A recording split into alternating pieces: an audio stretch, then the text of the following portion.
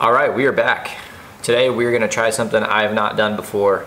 Uh, we're gonna paint a fish that I've always uh, I've always wanted to paint. I've caught a bunch of them down when I was in Florida with my brother a few years back. We used to use them as bait when we would try to catch lemon sharks and nurse sharks. So um, if this video goes up, you'll see it in the thumbnail, but we're gonna try to go with a pinfish. And so pinfish are, are kind of like in, in the Midwest, like the bluegills of the Midwest or the bream of the South. So they're a huge bait fish, fun to catch, easy to easy to catch down there with almost anything and great great bait. So we're gonna take this lure. I've already carved one out of some Tupelo. Um, we're just gonna kind of make it a uh, pinfish kind of wake bait. That'll probably be shallow crank we'll say depending on on the actual lip angle when I put that in there in the depth of the lip. But um, we're gonna walk through how I envision making the pinfish in terms of the paint scheme. They're pretty colorful little fish um, they've got some really neat yellow stripes. Again, you've probably already seen the thumbnail. Um, but we're going to try to go step by step all the way through and how my uh, thought process walks us through it. And uh, we'll see if it turns out to anything that uh, we can catch fish here within the Midwest. So stick with it, follow along, and we'll see if it works. All right, first paint after we do the white primer is going to be a pearlized Createx white. So we're going to go pearl white and we're gonna go give this whole this whole body that pearlescent color because the last section I'm planning on I'm gonna make the uh, the top portion mixed with a little pearl blue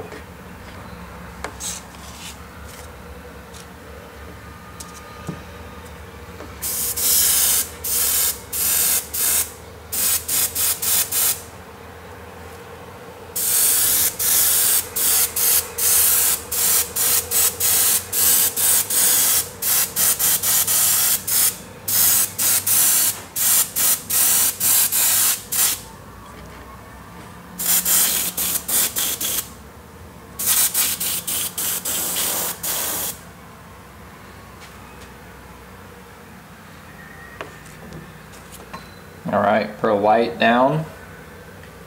I'm gonna mix a little of the blue in the canister as well with a little bit more pearl white and we're gonna gently go up the top to give this kind of a little bluish hue up before we get into any of the color change and color shift paints. Step two, as Wicked Laguna Blue with a little bit of that pearl white combined in the chamber. Um, probably can't really see it too much, but or too closely. We'll see if I can zoom in real quick so you can see it. Kind of looks like a nice soft Carolina blue. Um, that way, we're gonna just gently, and I mean gently spray the top just to get a little extra hue of blue and a little color. Um, these fish, obviously being in the ocean and salt water, there's a lot more color down there than there is up in this Midwest.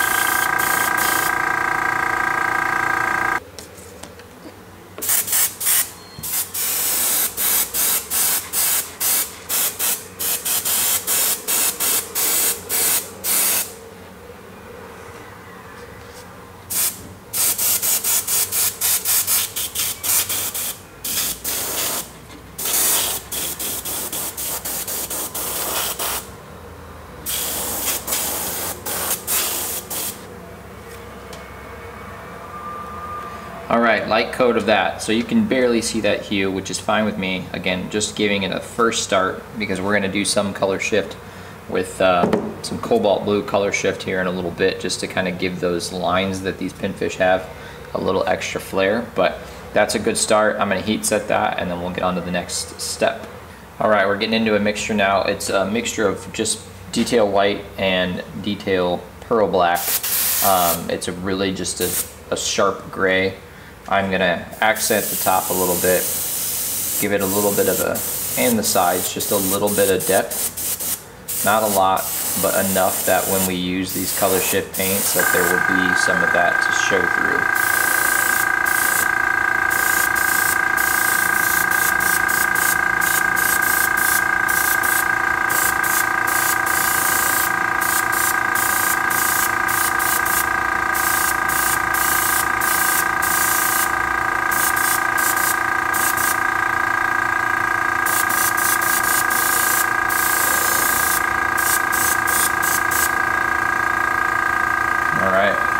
It'll be a little tougher to see the angle that I'm gonna shoot this, but most pinfish have about six bars that go down there. Uh, it would be the vertical side of their bodies, okay? So right behind the gill plate is pretty much where they start, and they're pretty thin. Uh, they're also not very pronounced, so um, I'm just gonna be very gentle with this, deep, this deep pearl black and pearl white combo, just to kind of make it look a little smoky, but I'm going to make those horizontal bars. Thought about freehand, but I think I'll actually just use a little guidance with this stencil here. So.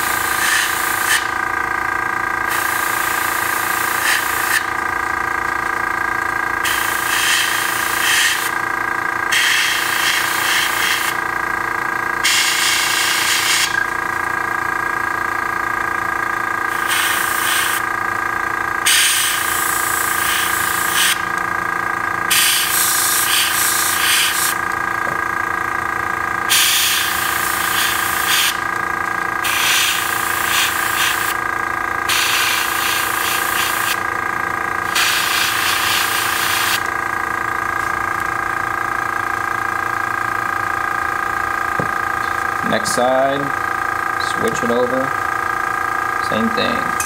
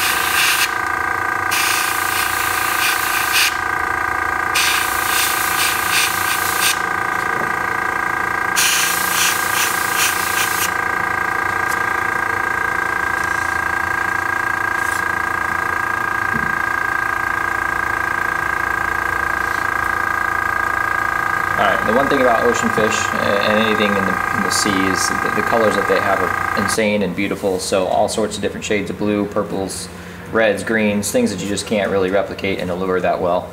Um, but we're gonna do what we can. So today we're gonna hit with hit this with a little color shift, some Green Stuff World Color Shift Cobalt Blue, and uh, we're gonna do some horizontal lines of that.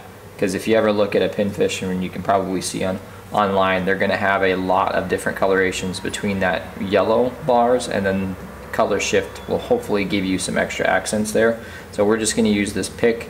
We're going to color shift all the way down the body and then as I go over the top later with the blue or with the uh, yellow here, the wicked golden yellow, it should hopefully tie it all together and look pretty sharp. So we shall give this a go.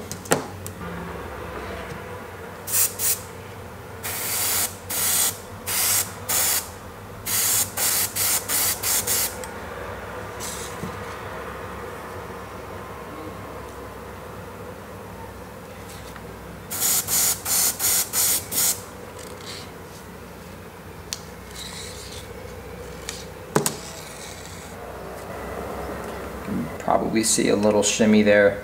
I'm to heat set that and I will be right back to get the other side. Before we move on to the golden bars.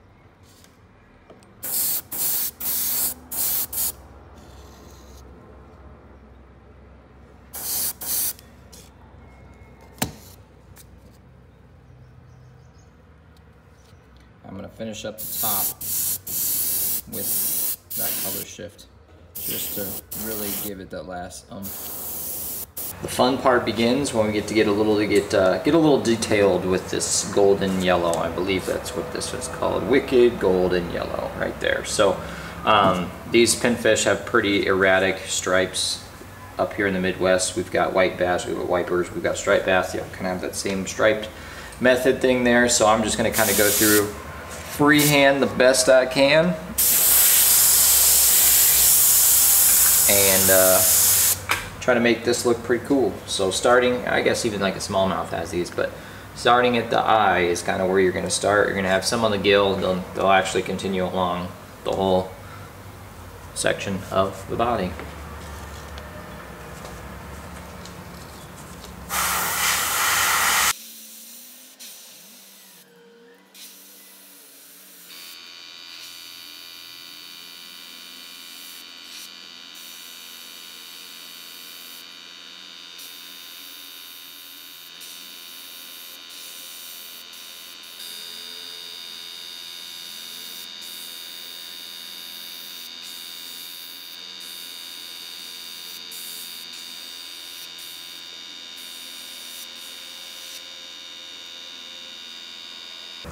Of you bait makers and painters already know what to do. Window screening, covering it up. I just kind of hold it down, get myself into a good position with the fingers and holding it down, and then just make a few passes. And it doesn't matter if it gets near the eye. Eventually, we're going to do some cleanup of that anyways, so we'll get to scaling.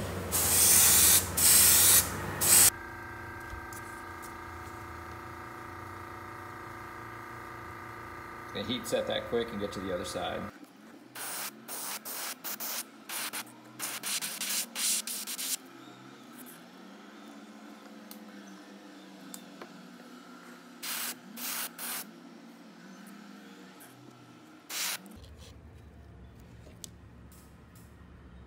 Heat set that quick and we'll be good with that. Guilty, guilty, gill detail time. Just gonna use this handy stencil that I've gotten cutout that I've used for probably way too many baits, but we're just gonna start to use a black uh, line shortly after this gill or after the eyelet just to kind of give you a little depth and a cutoff point.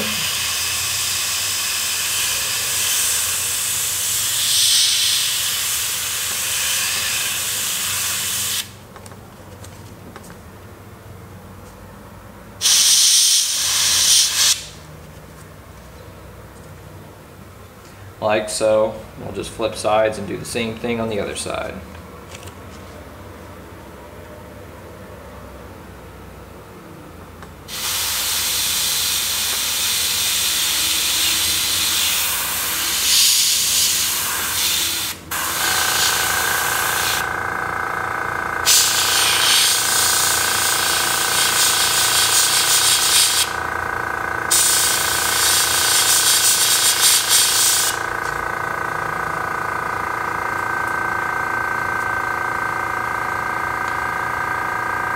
once my compressor settles down.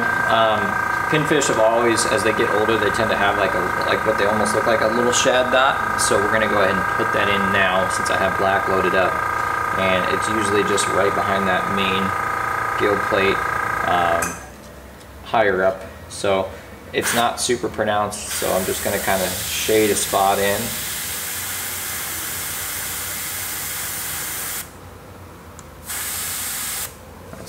Pretty good for me. That'll work.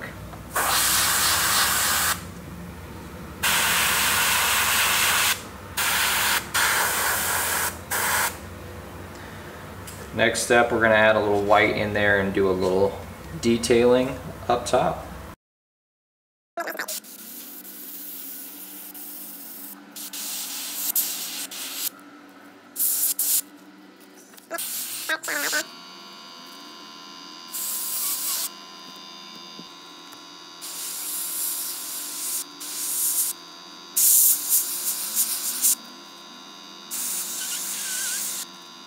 Almost finished up, but we're going to finish a little bit more detailing.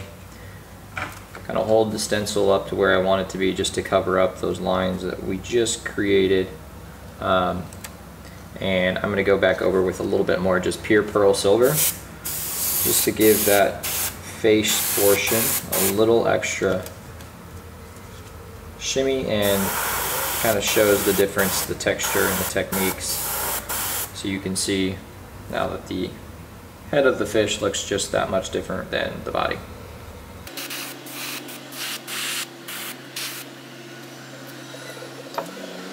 All right, I'm pretty stoked, pretty happy with that. I will get to clear coating it shortly. Last thing I want to do is use a little bit of a number two pencil to finish out some of the striations on this gill. Um, instead of painting it and messing that up, having a little bit of graphite go through there and making it pretty comfortable does not do you a bad thing. And you just got to be nice and light as you put those lines in so you don't tear up any extra tape, I mean paint.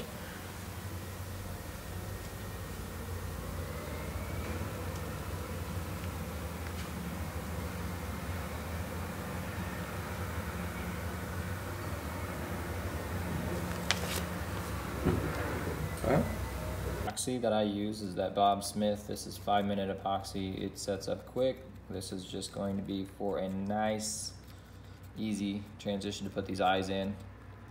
I, uh, I don't have many eyes left to choose from, but I realize that the American shad or gizzard shad eyes that I have from Jetson Lures really do look pretty salty. And uh, I'm not sponsored by Jetson, nor do they give me any free product. I just think that their lures are pretty good. I know Dead Meat Customs are pretty good too.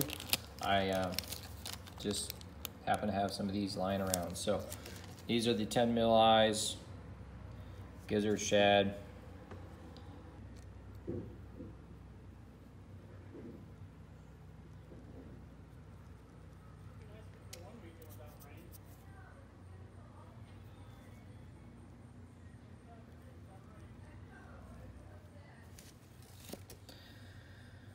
All right, pre-clear coat pinfish.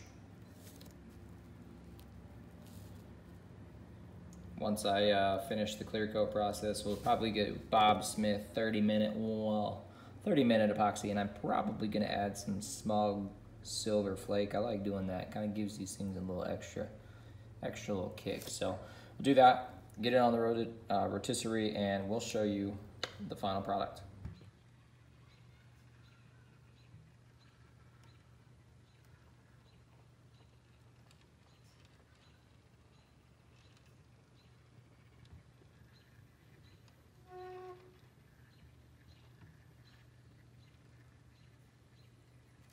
All right, it is done. This is the finished product. So I ended up going with the KBS clear coat this time and I put that on the rotisserie. So um, took about 24 to 36 hours before the first coat would dry. So that is what it looks like. I'm pretty excited, pretty happy with this one. I don't see many uh, uh, pinfish here in Nebraska especially. Um, but when we were down in Florida, my brother and I, we used a bunch of these and caught a bunch of these. So it's pretty fun and colorful little fish. So if you like this video, if you like this little painting tutorial, if you're gonna use this, drop a comment below. Like my videos if you so be inclined to do so. Hit that subscribe button too if you enjoyed something and you enjoy my videos or these uploads. Um, hopefully get do a few more throughout this summer and fall and we'll just see you on the next one.